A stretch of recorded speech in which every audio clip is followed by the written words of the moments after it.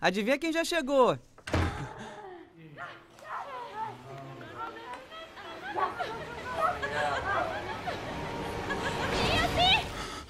Oi, amor. Senta aí, vem brincar com a gente. Experimente a intensidade de Diablo 3 na tela grande.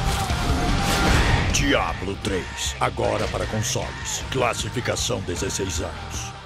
Eu acho melhor eu colocar a calça de novo.